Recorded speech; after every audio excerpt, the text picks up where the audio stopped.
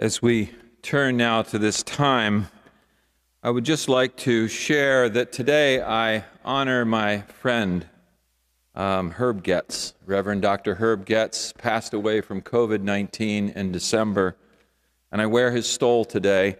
He served our nation for 30 years in the United States military as a chaplain, and then the church for another 30 years after retirement. In addition, I received word early this morning that Dr. Paul Minus uh, passed away. As you may know, Dr. Minus um, and his family gave the resurrection window to First Church in honor of his daughter. So we lift them today as we turn to this time of prayer and preaching. Let us pray. May the words of my mouth and the meditations of each one of our hearts acceptable in your sight, O Lord, our rock and our salvation. Amen. It is a miracle that she was even alive. Now she is on her journey back to love. Jesus saved her from certain death. And now, as Mary Magdalene makes her way through the dark city streets, headed for the tomb of her friend and her Savior, memories of him flood her mind. The way my life was headed, she's thinking, could have been me in that tomb instead of him. It should have been. It could have been. She ponders as she replays her life story, turned around by Jesus. Jesus had loved Mary back to life as he ministered to her and healed her of torment and mental anguish and emotional trauma. It is a miracle that Mary is still standing and moving. Thanks to Jesus, she didn't die young. He cleansed her heart and cleared her mind and made her eternally grateful, and she is on her way to the tomb. As she turns the final corner to enter the garden tomb, her heart is filled with sadness, sadness and deep appreciation that are all mixed together for all that Jesus meant to her. Then she sees it. The huge stone covering the entrance to the tomb is gone. Panic sets in as she pivots and runs back to tell Peter and the other disciples. Once they hear the stunning news, they take off. She follows them. They arrive first to discover the missing body and the linens that are lying there, similar to the linen that we have draped on the cross this morning. Strangely, by the time Mary gets back to the tomb, the disciples have headed home. We don't know why. Alone in the garden, again, she steps into the tomb and she sees two angels. Two angels, by the way, that the disciples did not see. Weeping, she repeats to the angels what she has said to the disciples with one word change. This time, instead of calling Jesus the Lord, she calls him my Lord, and she says, They have taken my Lord, and I do not know where they have laid him. Apparently, he hasn't gone far. He's right there. He speaks to her, and she doesn't know him by sight. Not until he hears, she, he says her name, Mary, and she recognizes his voice. That kindness, that respect, that love. Mary. She hears him before she sees him. This is real. This is resurrection. Rabboni, teacher, she cries. Jesus Christ, the one who loves Mary back to life, and the one who always loved the world and embraced the world in spite of all the evil and discord, the craziness and disdain, the hatred and the inhumanity. He lived in love, died in love, and now is fully risen as the Lord of love. And Mary is the first to meet love rising. This story gets better with age. Like a good wine, its vintage improves each year. Perhaps this is true because we need love rising more now than ever before. Love rising is a real thing. It's not some sort of metaphor for a preacher to throw out in a sermon on Easter Sunday. Love rising is real. If you don't believe me, ask Father Richard Rohr. And I'm going to share this with you because he has given all of us a mind blowing insight into the love of Christ rising this morning. Father Rohr is a Franciscan priest who is a gifted spiritual writer and teacher. In a piece he authored this week entitled, Once We Were Stardust, and What We Will Be is a Good Surprise, he wrote of our real and cosmic connections to resurrection. Father Rohr points out something that most preachers on resurrection are drawn to Paul's words in 1 Corinthians 15. He says, If Christ has not been raised, our preaching is in vain and your believing is useless. But Father Rohr points out they always start the verse at the end. They have to go to the beginning. And there in the beginning of that same verse, you will find this if there is no resurrection of the dead, Christ himself cannot have been raised. Isn't that extraordinary? Think about this. The universal principle comes first. Then, and only then, is it illustrated and guaranteed in the risen Christ. So, Jesus Christ is the universal example and the promise representing the resurrection of all creation. Let me say this again so we don't miss the point. Resurrection from the dead precedes Jesus' rising and Easter glory. It has been with us since the beginning of time.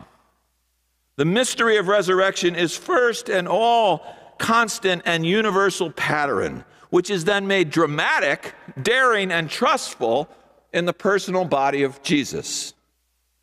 Thank God for science, which is helping us to think this way. For example, did you know that science is teaching us that the same number of atoms in the universe that were there five seconds after the Big Bang happened approximately 13.8 billion years ago are still with us? They just keep playing musical chairs, and by all evidence, at an even higher level of complexity and consciousness. Father Rohr writes It is not poetry to say that we were all stardust and what we are is yet to be. It is a good surprise. It is a gift. It is the pure grace of God. It is no longer, it no longer seems like a huge act of faith in a one time miracle that no one can prove.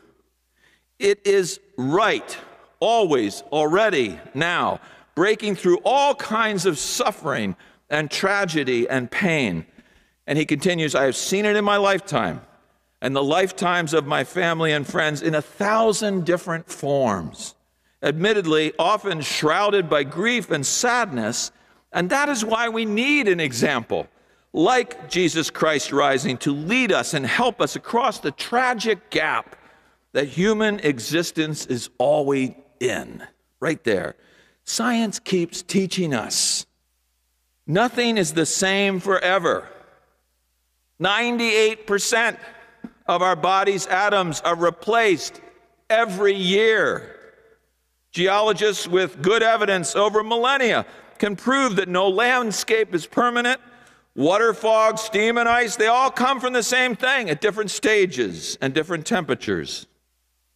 In the funeral mass of the Catholic Church, the preface says this Life is not ended, it is merely changed. Science is now giving us helpful language for what we've rightly intuited and imagined in our faith all along. Essentially, we are blessed with language that pre- predates science but is supported by science. Apparently, God could not wait for modern science to give history hope. People just needed to believe that Jesus was raised from the dead so that the hope and possibility of resurrection could be planted in our deepest unconscious. Jesus' first eternal life, his necessary death, and his resurrection into the ongoing Christ life is actually the archetypal model for the entire pattern of creation from beginning of time till now. He is the microcosm of the whole cosmos. He is the map of the journey. If you need one, look to Jesus. Follow the map. Our Christian narrative tells us that reality's true story from the very beginning has always been incarnation. That God's hiding place and the place of God's epiphany in the world is physical. Resurrection is therefore not only a one time anomaly in the body of Jesus, rather, that Jesus is the pattern revealing the pattern everywhere that God has created in the cosmos. Now, Easter is not only one day, Easter is apparently every day and everywhere and always.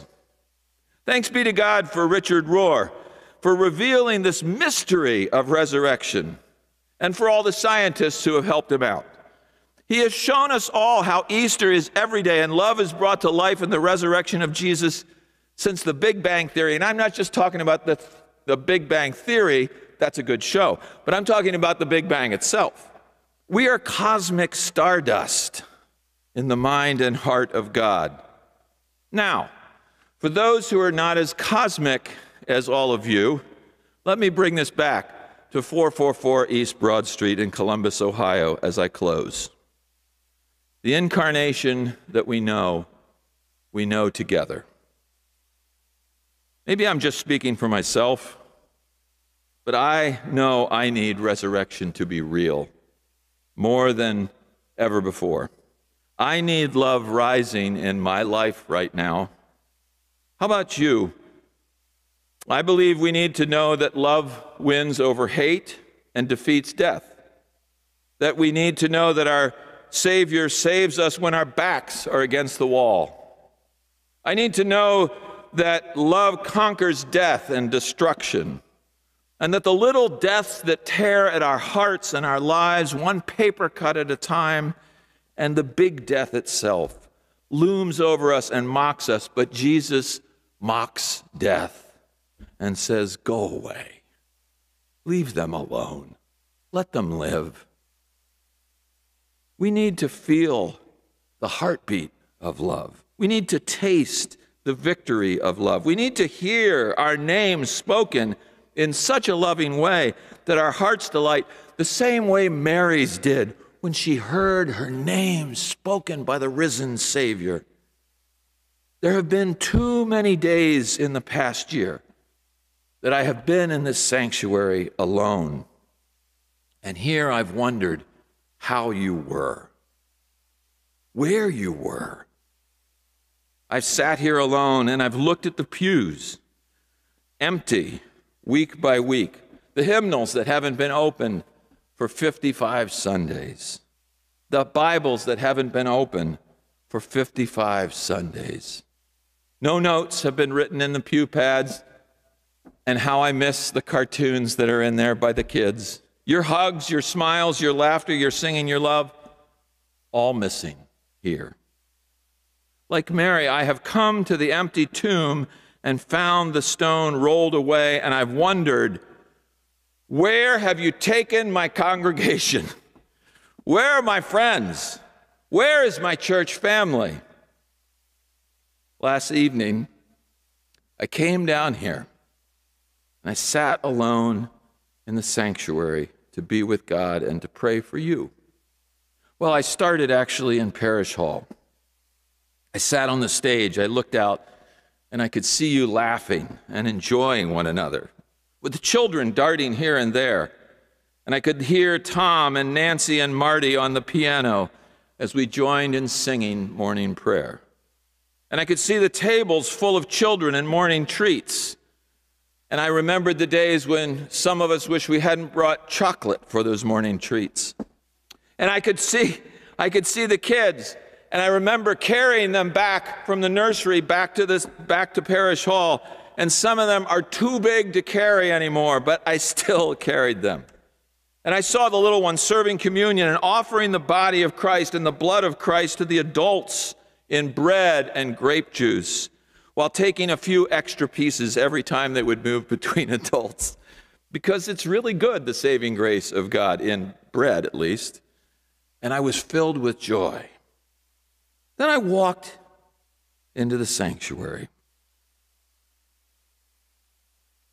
The sun was setting to the west. As I took a seat in the southeast corner of the sanctuary, in my mind's eye, I saw you all here. I sat next to you. I held your hands. I hugged you. I heard your voices. I saw your smiles. I kissed the babies. You know, I always kiss the babies. I blew kisses to the little ones.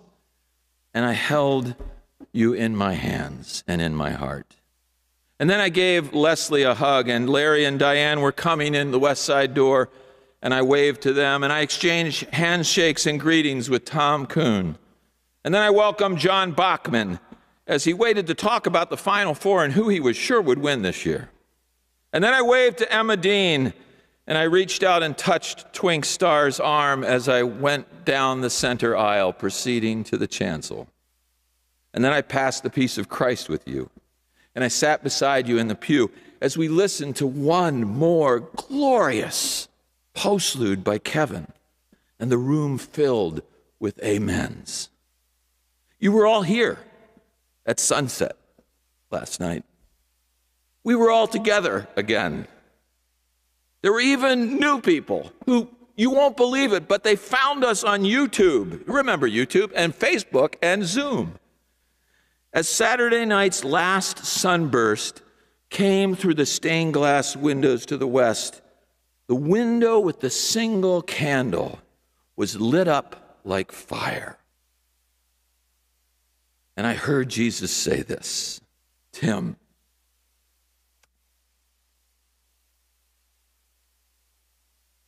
everything will be all right.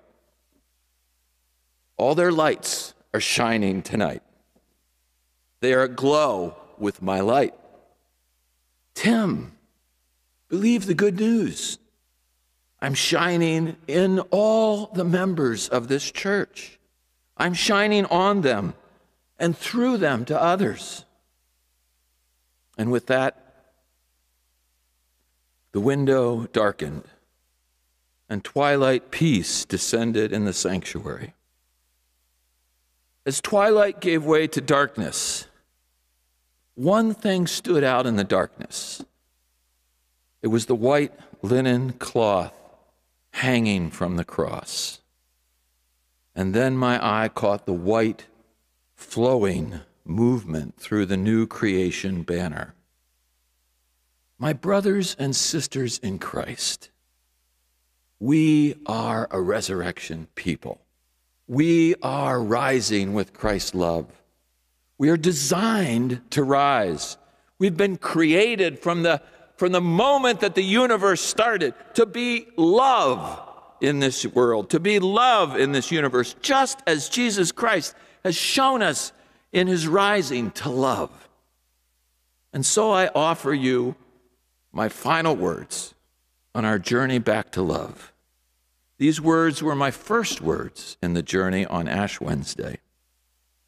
I said on February 17th, I implore you to take this journey of the heart.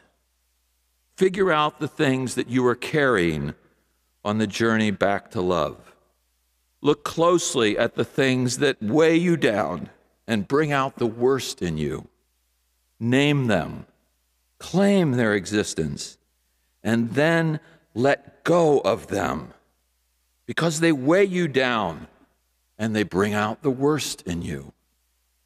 Hang on to the things that you carry, which are beautiful and healing and hopeful and keep your eyes wide open. Keep your hearts wide open. Keep all your senses wide open as you step ahead.